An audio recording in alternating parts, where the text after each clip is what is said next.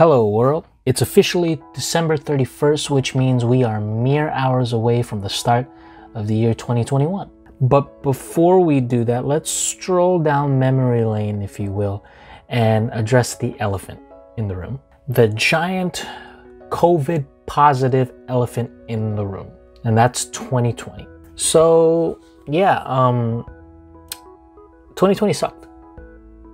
In many ways, it's it's it's really hard to give a retrospect of 2020 without mentioning the real hardships. Not just the virus. I'm talking systemic racism, rise and decline of businesses and job opportunities, education, sports, so on and so forth. So, being in the medium of movies and movie reviews, I will try my best to provide a retrospective of everything in the realm of movies in the year of 2020. But before I do, I do really want to take time to acknowledge and offer any type of condolences to any and all that had someone or knew someone that endured the hardships of this year with the coronavirus or and or loss of employment or decline of health. I really do hope that you and your friends and loved ones were able to withstand the brunt of this year and hope that your health and your spirits increase exponentially going into 2021. With that being said, I figured I will go into a retrospect just pointing out some key elements and key events of the year that were monumental and newsworthy as much as I can uh, for film. I will also get into some surprises and also some things that I think hold some hope as we go into 2021 and the unknown future, really, that lies ahead for the movie industry. So let's get started.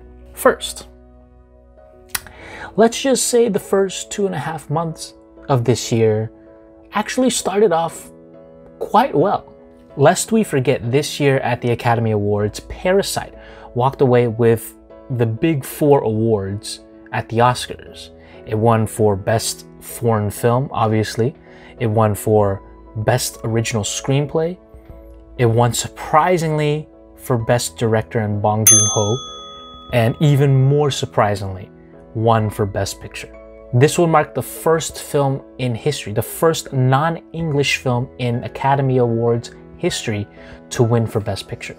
And not to mention starting off the year with some fairly impressive films. For example, uh, January of 2020 saw the release of the much expected, much anticipated sequel, Bad Boys for Life. And while it was long overdue, it still was a surprisingly good film to start off the new year. A couple of weeks later, we would see releases of films like The Invisible Man with Elisabeth Moss, which is a psychologically uh, good take on a classic uh, horror film from a era long ago.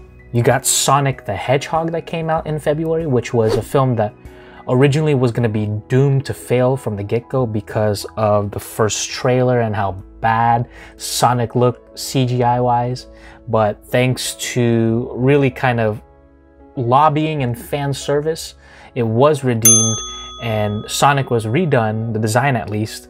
And although it wasn't a visionary classic, it was significantly better than it was originally anticipated to be. Then you had other films such as Birds of Prey, you know, the Harley Quinn movie that did well, critically at least. The Way Back, which starred Ben Affleck, which was really kind of a redeeming and resurrecting kind of performance by the renowned actor. You got another Disney and Pixar film, Onward, that was released, which was a little under the radar, but it was actually very heartfelt and an effective film. So there was promise to be had in the first two, two and a half months of 2020. Then, of course, we all knew what happened next as the rise in coronavirus cases began to increase, causing it to become uh, ultimately a pandemic. Uh, it led to businesses to halt production, close, you know, massive shutdowns, and the movie industry was no exception. Theaters closed, movie sets were forced to shut down as government regulations began to enforce social distancing and working remotely. This was really the catalyst in what I believe to be the beginning of the end of cinema the way we're, we were used to having it. As theaters closed, it would cause movie studios to reconsider the release of their big budgeted planned films for 2020. And 2020 was in store for some big releases. And the first film, the first casualty, I guess, if you will, that kind of responded to the uh, pandemic crisis was the anticipated James Bond film, No Time to Die. What was originally supposed to be released in April of 2020 was then shifted to November of 2020 and now is being shifted to April of 2021. So, as far as the rescheduling and, and restructuring of releases, I think it's safe to say No Time to Die was the first one and would cause a ripple effect of other films uh, in the foreseeable future to shift their release dates or turn into a different direction. For example, F9, the Fast Saga, you know, the new Fast and Furious film, which was scheduled to be released Memorial Day weekend 2020, was ultimately pushed back a year to May 2021. You've got other films too that got pushed back because of the coronavirus, like Candyman, uh, Dune, Free Guy with Ryan Reynolds, The Kingsman, which is the prequel to the Kingsman films, uh, Morbius, the uh, Spider Man universe film with uh, Jared Leto, A Quiet Place Part 2, Top Gun Maverick with Tom Cruise, and other films uh, all throughout 2020 that would shift to 2021. One notable film to point out uh, that actually did maintain a theatrical release uh, was Tenet. That was the Christopher Nolan film um, and Warner Brothers released film that was supposed to come out in July, but ultimately pushed back two months, I want to say into late August, early September. A film that was really, really uh, anticipated, being that it's Christopher Nolan, and ultimately it would it would just be unsalvageable had it not been released in theaters. So they had no choice but to release it in theaters despite all of the government and safety protocols with the coronavirus and social distancing. They still released it in theaters.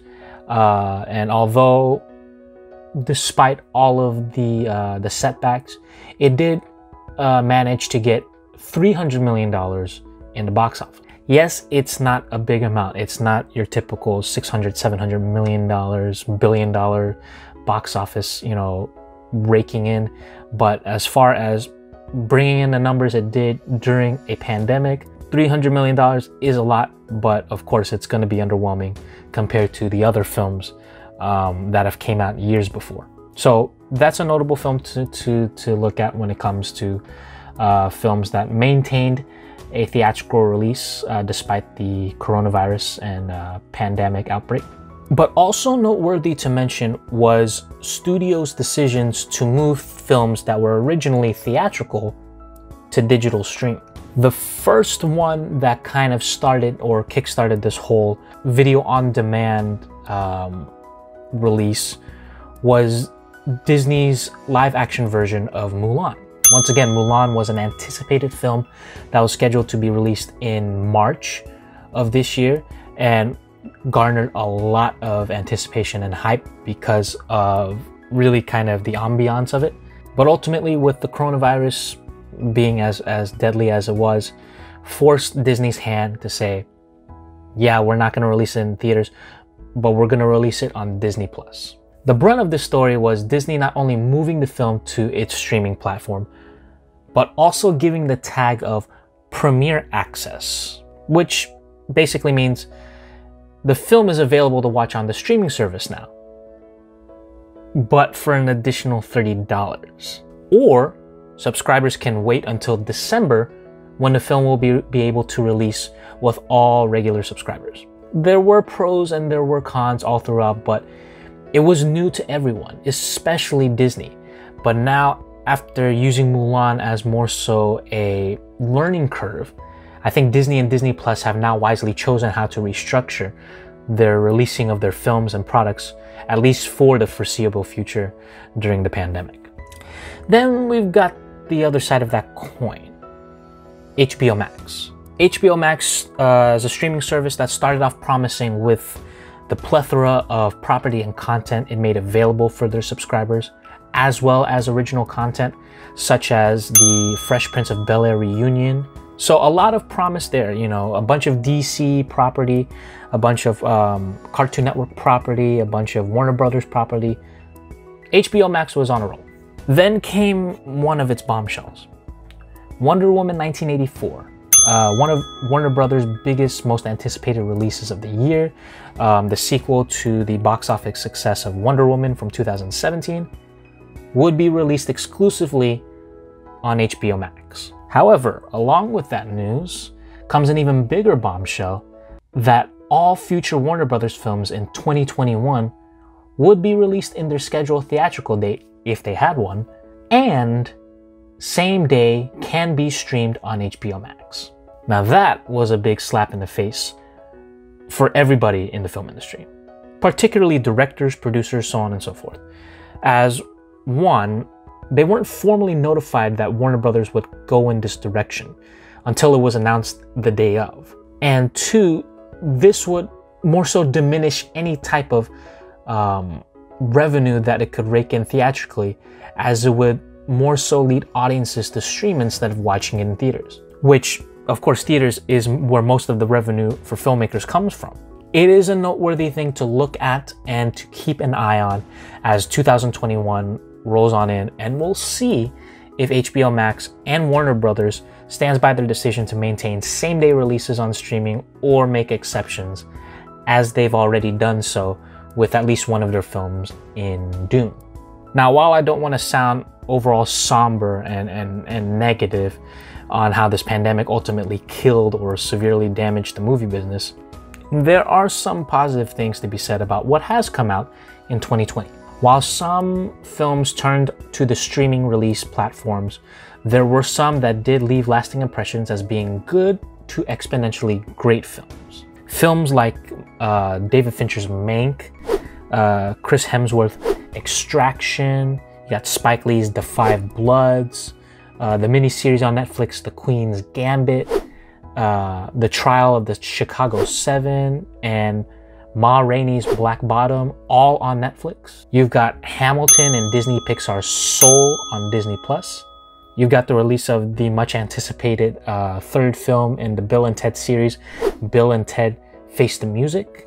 And not to mention what I think was one of the surprise, more so the surprise of 2020, the Borat 2 film that was released on Amazon Prime. So, yeah, there were much noteworthy films that came out in 2020, uh, whether it be limited release uh, in theaters or on streaming platforms, that really were salvageable and most noteworthy to, to take away from 2020.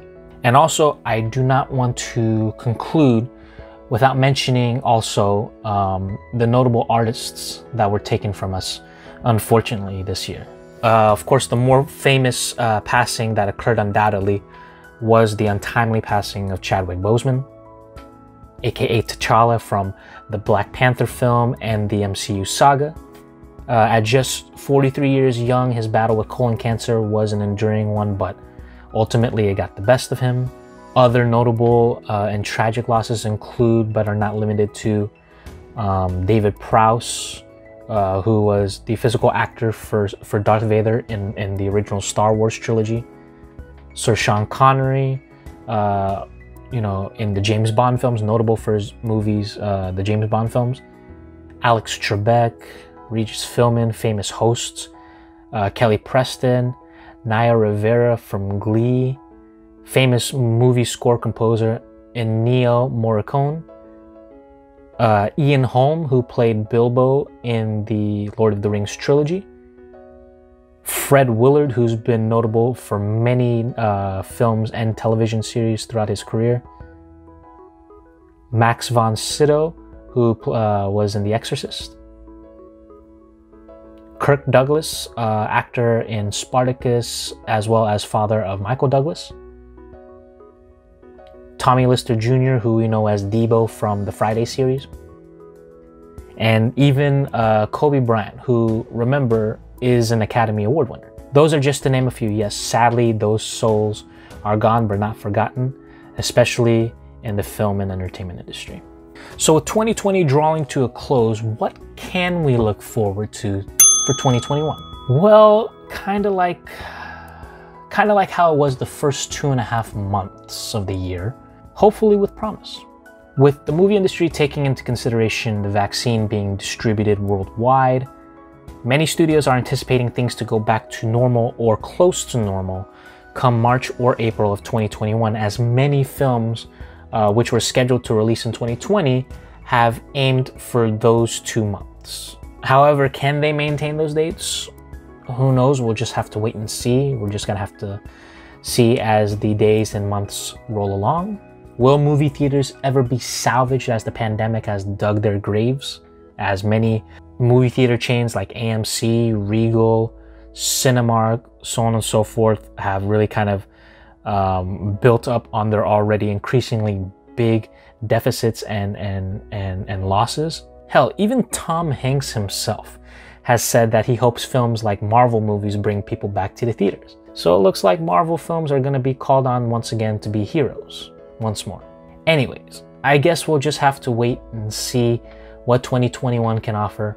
All I can hope for is that the love for movies and the movie going experience, though no longer normal and is still to be yearned for by its audience. So that's just a little retrospect on what's happened in the past 12 months in movies and movie news. What was a noteworthy thing that you liked or that you think is worth mentioning that I probably didn't mention? Leave them in the comment section below. Like, share, subscribe. Please let me know of anything that I missed out. Was there anything that uh, you feel like is important that you want to share? Any and all comments are welcome. Well, thank you for tuning in. Thank you for sticking around to listen to this whole retrospect. And here's to hoping that 2021 offers greener pastures, not just for movies, but for everything around the world. So, once again, thank you guys for tuning in. Um, everybody have a very safe, fun, and enjoyable uh, New Year's Eve. I will see you guys next year. Okay, never mind. But anyways, I hope everyone does have a safe New Year's Eve and enjoys the the coming year of 2021 as we start off the new year. Let's hope and pray for bigger and better things for this world, for movies, for sports, for health, for education, for politics, for government, everything. Let's just hope that you know we can erase what was 2020 and just hope for just a beacon of hope that we can have uh, for the new year. So this is Eugene signing off once again for another video. Be on the lookout for more videos to come. Please look at my other videos that I've done throughout the year of 2020. My Eugene reviews, uh, the quick takes, unboxing that I have, and even my little special 12 days of Christmas movie classics that I did recently. Thank you once more. And once again, uh, I've said it a lot, but I really do hope everyone out there have a very happy and safe new year. Let's bring in 2021 with a bang.